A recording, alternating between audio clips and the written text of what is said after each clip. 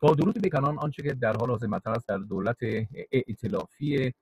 آبی و سفید و لیکود که روی هم رفته به 73 تا 75 کرسی از 120 کرسی پارلمان اسرائیل می‌رسند. ما رو برای می‌سازه که پی ببریم آیا معامله قرن که در حال حاضر قبل از انتخابات سوم اسرائیل مطرح شد تا چند درجه می‌تونه تاثیرگذار باشه بر سیاست های امور خارجه اسرائیل آیا پذیرای آن باشند یا اینی که به این به گونه ای در سیاست ها بین این دو گروه و این دو جبهه مرکز دست یعنی دست راستی و دست چپی بتونه در بینشون مسئله ایجاد بشه. در کنار من جناب مهندس عمرانی هستن کنشگر سیاسی اجتماعی. از لس آنجلس به برنامه خوش من جناب عمرانی. اگر پرسشی هست من در خدمت هستم. بفرمایید. آیا در دولت اطلافی سیاست های آقای نتانیاهو در مورد معاهده قرن که با همراهی پرزیدنت این تب داشت؟ آقای کوشنر. همچنان می‌تونن ایده های اولیه خودشون رو پیاده کنن یا با مشکل مواجه خواهند شد با دولت در حال آنچه که در حال حاضر مطرح است و در ماه پیش نیز قبل از انتخابات در کنفرانس بین‌المللی امنیت ملی که حضور داشتن این مسئله مطرح شد و خود بنیگنز گفت از این معامله قرن میاد و به عنوان یک یک معامله قرن کامل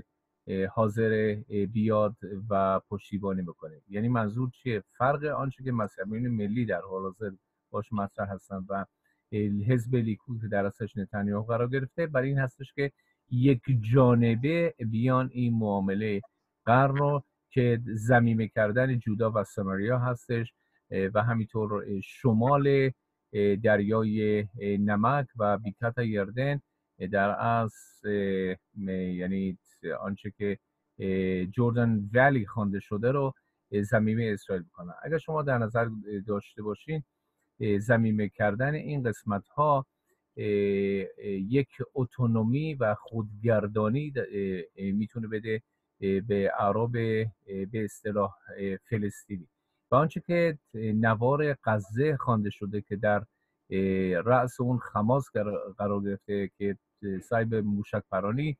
داشته با وجود اینکه اسرائیلی ها سالهای پیش از غزه آمدند و عقب نشینی کردند هنوز زیر سلطه خماس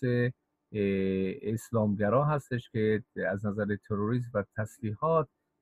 نه فقط از طریق قطر بلکه از طریق جمهوری اسلامی پشتیبانی می شده از این رو ما در حال حاضر با سه گروه که تاثیرگذار می‌تونن باشن بر روی سیاست امور خارجه مخصوصا مرکز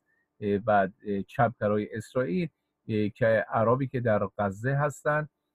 که یک دو میلیون نفر هستند که در جایی دارن زندگی می‌کنن که نوار غزه هستش و به حال زیر سلطه یک دولت خماس اسلام گرا که حقوق بشر اونطوری که باید شده در اون رعایت نمیشه و با درصد بالای بیکاری. از طرف دیگه ما اعراب فلسطینی به اصطلاح فلسطینی که جودن سمریا رو داریم که در اون افراد در حال زیر سلطه به حال ابو عباس هستند و دولت خودگردان فلسطین. و آنچه که در حال حاضر به عنوان شهروندان اسرائیلی که دارای تصابه حقوق هستند عرب عرب فلسطینی که در خود اسرائیل هستند 20 درصد رو قرار تشکیل میدن که موفق شدن 15 کرسی پارلمان رو اختیار بکنه. از این رو یکایک مسائلی که از نظر امور خارجه اسرائیل مطرح میشه و سیاست که اتخاذ میشه در این اتفاق امر با یک دیگر برای این خواهد بود که تا چند اندازه یک سیستمی رو و یک سبکی از امور خارجه رو بتونن به پیش ببرن که یعنی اگر بخوان که زمیمه بکنند پس در میفتند از یک طرف با اردن هاشمی که 70 درصد اون نیز فلسطینی هست. اگر سعی بر این داشته باشند که سیاستی که از نظر معامله قرن هست یک طرفه به انجام برسونن بنیگانس با اون و حزب جنرال ها با اون توافقی نداره مگر اینکه یک اجماع بین المللی درباره این مسئله باشه. همینطور که در کنفرانسی که حضور داشتن از نظر امنیت ملی ماه پیش شخصا بنیگانس این مسئله رو مطرح کرد. از این رو آنچه که چشماندازی که ما در نظر می‌گیریم در صد روز اول دولت ائتلافی در کنار آنچه که در حال بحران مدیریت بحران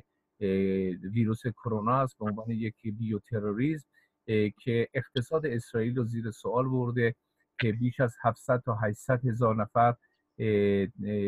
حدود 21 تا 22 درصد نرخ بیکاری هستش و افراد از کار بیکار شدن و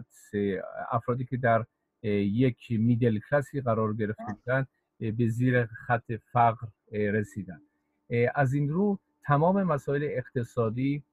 مسائلی که نظامی حتی که امنیت ملی اسرائیل رو تحت شعاع خودش قرار داده مثلا شما در نظر بگیرید یک خلبانی که وقتی که کرونا گرفته باشه دور تا دورش تمام افرادی که بودن باید قرنطینه بشن. اگر شما در نظر بگیریم در غزه